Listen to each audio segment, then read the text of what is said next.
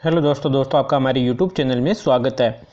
दोस्तों, हम विसर्ग संधि पढ़ रहे थे और इसका पहले का वीडियो जो अगर आपने नहीं देखा है, जिसके अंतर्गत दोस्तों हमने सत्व संधि को अच्छी तरह से समझाया है तो वह वीडियो दोस्तों आप हमारी डिस्क्रिप्शन बॉक्स में दी हुई लिंक पर क्लिक करके देख सकते हैं या फिर हमारी प्लेलिस्ट में जाकर देख सकते हैं। आज दोस्तों हम विसर्ग संधि का दूसरा पार्ट उत्व संधि को समझाने वाले हैं। तो देखिए दोस्तों, उत्व संधि को समझा, समझने का एक बेहद आसान तरीका यही है कि आपको शब्द के अंदर अर्थात पद के अंदर ओ और ये अवग्रह वाला अ साथ में लिखे हुए मिलेंगे।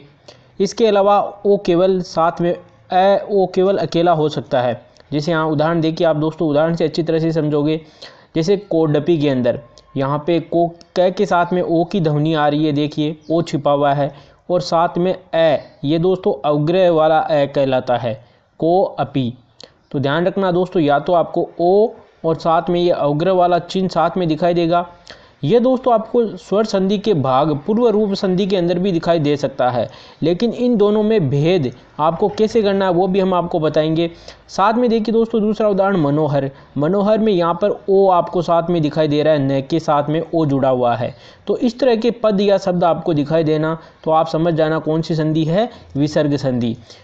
दोस्तों हम इनको अच्छी तरह से खोलकर भी बताएँगे। और हमारे एग्ज़ाम में जो महत्वपूर्ण है, हम उतना ही समझेंगे तो हमारे लिए बेहतर होगा। क्योंकि दोस्तों, इसके अंदर बहुत सारे सूत्र काम करते हैं संस्कृत के, और इतना डीप में हमें नहीं जाना है। क्योंकि हमें तो केवल एग्ज़ाम क्वालिफाई करना है तो हमें शॉर्ट ट्रिकें हैं जो, वो भी देखते रहना है साथ में साथ। तो देखिए दोस्तों, सबसे पहले हम ये लेते हैं ओ और ये अग्र वाला ए ये पद के अंदर किस प्रकार आएगा और किस तरह इसका संधि विच्छेद होगा? दोस्तों, जैसे उदाहरण देखिए, कोडपी। इसको ही हम देख लेते हैं। अगर हम इसका संधि विच्छेद करें तो ऐसे बनता है कै प्लस अपी। अब दोस्तों, इसको अगर आप ध्यान से देखो तो यहाँ कै के साथ में ए छिपा हुआ है। और इतनी बारीकियाँ दोस्तों, हमें आपको बताने की ज़रूरत नहीं है, क्योंकि आप संधि छोटी क्लासों से ही पढ़ते आए हो। आपको पता ही है कि व्यंजन स्वरों के बिना नहीं बनते।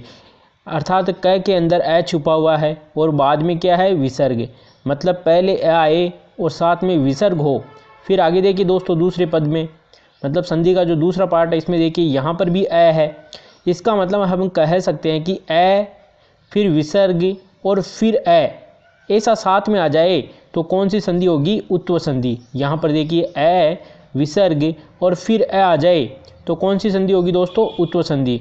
और उसमें आपको क्या मिलेगा? ओ मिलेगा साथ में। ये देखिए क के ऊपर ओ की मात्रा है। क के साथ में ओ की मात्रा है और ये अवग्रह वाला ए ऐसा जब आपको दिखाई दे तो आप समझ जाना कौन सी संधि होगी उत्व संधि।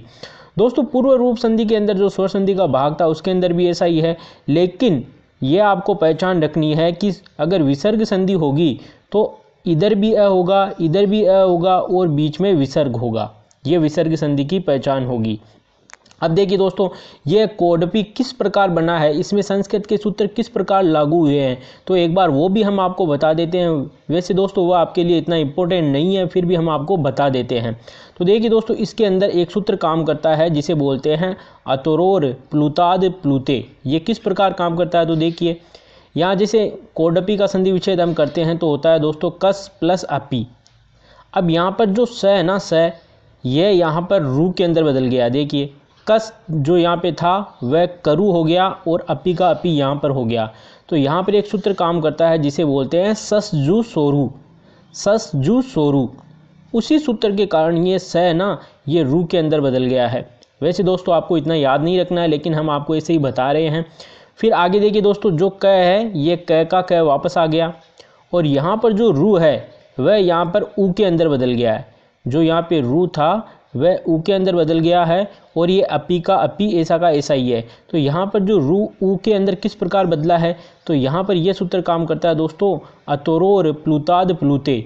इस सूत्र के कारण रू यहाँ पे ऊ के अंदर बदल गया है। आपको इतना डीप में याद नहीं रखना है, केवल ये समझाने के लिए बताया जा रहा है। फिर आगे देखिए दोस्तों, इस कै के अंदर आपको पता है ए छुपा हुआ है। कै के अंदर क्या छुपा हुआ है? ए और ए के बाद में क्या है? ऊ। दोस्तों, आपने स्वर संधि पढ़ी होगी, गुण संधि, उसके अंदर आपने देखा होगा, जब ए के बाद में ऊ आए तो उसका ओ हो जाता है। तो यहाँ इस क में से हम ए को हटाते हैं। तो यहाँ पर हम लगा सकते हैं हलंत क के नीचे। और इसके अंदर जो ए छुपा हुआ था, वह इस ऊ से मिलकर ओ बन गया। फिर दोस्तों, ये अपी का अपी, ऐसा का ऐसा आ गया। अब यहाँ पर देखिए, अब अगर आप इस पद को, इस संधि विच्छेद को देखो तो आपको पूर्व रूप संधि, जो स्वर संधि का भाग था, वो आपको दिखाई देगा। क्योंकि उसके अंदर यही था कि पहले वाले पद में ओ, फिर आगे वाले में ए और ये ए जो है, वह अवग्रह में बदल जाता है। तो आगे चलकर दोस्तों यही होगा। ये कह का कह ऐसा का ऐसा ही आ गया।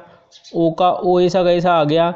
लेकिन जो ये ए है यह अवग्रह वाले ए में बदल जाता है। इसे बोलते हैं दोस्तों अवग्रह वाला ए और पी का पी ऐसा आ गया। इस तरह दोस्तों इस पद को मिलाने पर बनता है कोड पी। तो इस प्रकार यह एक पद या संधि विच्छेद जो था, इस प्रकार बना हुआ है। आपको दोस्तों ये ट्रिक याद रखनी है कि अगर हम संधि विच्छेद करें और आगे की तरफ़ भी ए, बीच में विसर्ग, फिर ए हो तो कौन सी संधि होगी? उत्व संधि। आगे ऐसे भी और उदाहरण आप देख सकते हो, जैसे रामो अवदत्त, इसमें होगा रामय प्लस अवदत्त। इसी तरह रामो अयम में रामय प्लस अयम। इस तरह दोस्तों आप इसका संधि विच्छेद कर सकते हो। अब हम उत्तर संधि का जो दूसरा भाग है, ओ, वो किस प्रकार आता है उसको भी समझते हैं कि शब्द के अंदर, पद के अंदर ओ किस तरह मिलेगा आपको। तो देखिए दोस्तों, ओ में क्या होगा दोस्तों? विसर्ग और गुण दोनों साथ में समाहित होंगे। मतलब विसर्ग संधि और गुण संधि दोनों साथ में समाहित होगी। किस प्रकार होगी, वो हम देखते हैं। जैसे एक उदाहरण हम लेते हैं दोस्तों, मनोहर है। तो इसका अगर हम संधि विच्छेद करें तो होता है मनस्य प्लस हर है। अब ये किस प्रकार बना है तो इसको भी हम खोल कर देख लेते हैं। तो इसके लिए दोस्तों एक सूत्र काम करता है, हसिश्चय। कौन सा? हसिश्चय।